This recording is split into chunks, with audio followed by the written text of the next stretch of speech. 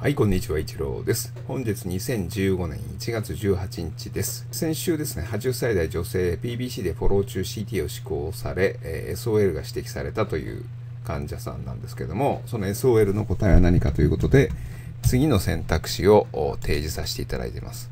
選択肢がですね、HCC か、 adrenal rest tumor か、 angiomyolipoma か、 hepatic pseudolipoma かっていうところですけれども、まあ一番どれが近いのかということになりますと、まあアドレナルレストテューマー3番が残るんではないかと考えられます。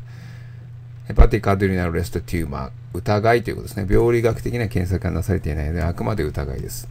まあ、ハートと略しますけれども、まあ、画像を見ていきますと、まあ、単純 CT では S の7に、この部分ですね、境界、まあ、明瞭なですね、低級周期結節が認められます。大体大きさは1.5センチぐらいですね。CT 値を測りますと 34HU という脂肪を完全に含んでいるようには見えません。で、ダイナミックをすると、まあ、これ動脈層ですから、まだそんなに染まってませんけれども、まあ、後期動脈層ですね。後期動脈層でははっきりと、強く染まってきているのがわかります。で、平行層ではウォッシュアウトされているのも明瞭にわかります。つまり、早期脳線平行層でウォッシュアウトという形の、まあ、典型的な HCC のパターンを示しているという形ですね。まあ、EOB の MRI がやられてるんですけども、腫瘍とですね、高齢腫瘍ですね。まあ、これ、オポーズの黒いんで脂肪ということがわかるんですけども、脂肪を含むことがわかるんです。副腎、ここに副腎があるんですけども、副腎とは明らかに離れていると。感知質を介していて離れているということがよくわかります。で、もう一度、インフェーズ。これがインフェーズですけども、これがオポーズですね。インフェーズでよく見えないのが、オポーズで黒くなるということで、まあ、脂肪を含んでいることがはっきりします。で、ダイナミックのプレ。プレでは、まあ、脂肪抑制像ですので、えー低信号に見えています。で、ダイナミックをすると早期に脳線します。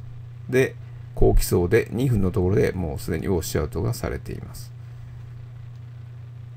で、拡散では光っていて、ADC マップはちょっと分かりにくいんですけれども、ちょっと低信号なのかなという感じですね。背景感と比べるとですね。で、T2 強調像、これは呼吸停止ですね。停止下で高信号を示していて、これ呼吸同期下ですけどね、同じように淡い高信号を示し、で、これはヘビー T2 ですね。で、信号強度が落ちますね。T2 に比べると落ちてくるというところなんですけども、まあ、この T2 とヘビー T2 を使った T2 リラクゼーションタイムというのが TE、これはもう決まってるテストですね。当院での TE と T1 と2の差を、まあ、ログ対数ですね。SI、シグナルインテンシティの大きい方からシグナルインテンシティの小さい方のログ対数で割ったもの。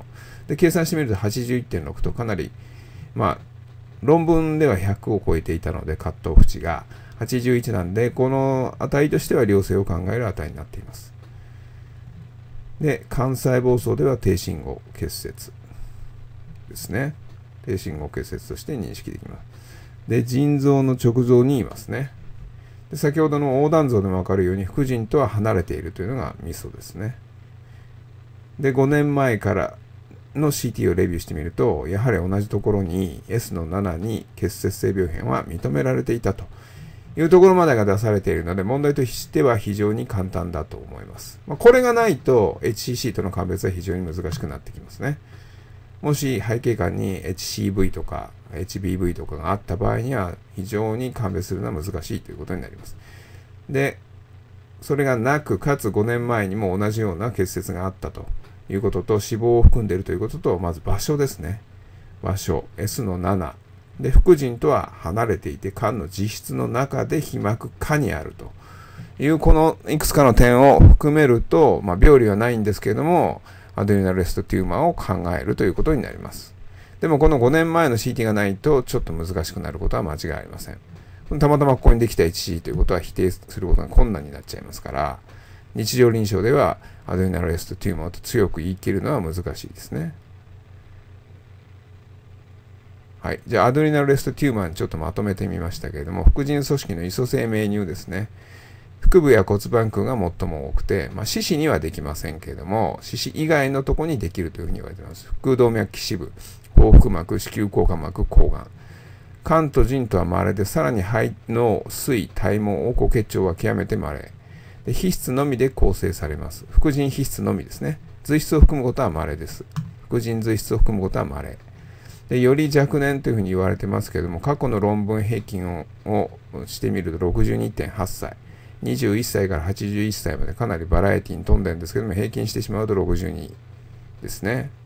で、男女差はなしなくて、病理学的には副腎必選手に類似する。男女差ないんですけども、ちょっと過去の論文調べると女性の方が多かったですね。で病理学的には副腎必選手に類似するということですから、早期に脳線、高基礎でウォッシュアウトというのがもう副腎選手ですから、まあそれは、まあ、HCC と鑑別困難ですよね、基本的に。ほとんどの腫瘍は非機能性と言われてますが、機能があるのは稀ですね。で、悪性化も極めて稀です。基本良性腫瘍ということになります。だからもう分かっていれば手術に至ることはないということになりますね。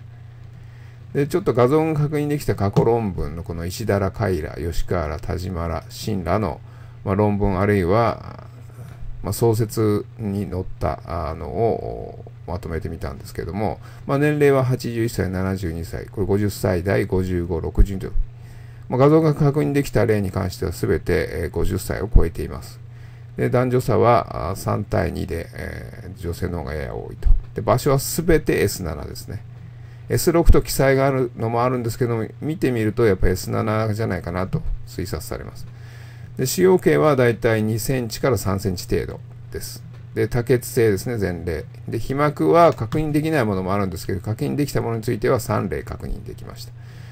でも画像上の被膜。で、この田島らは、あ病理学的な被膜も確認できてます。で、死亡は、まあ、記載がないのもあるので、何とも言えないんですけども、確認できたのは3例。で、石灰化いずれも書いてなかったり、えー、画像、まあ、掲載されている画像では明らかなものはなかったですね。石灰化の有無も言われてますけど、そう、確認できるものはこの5例ではなかったと。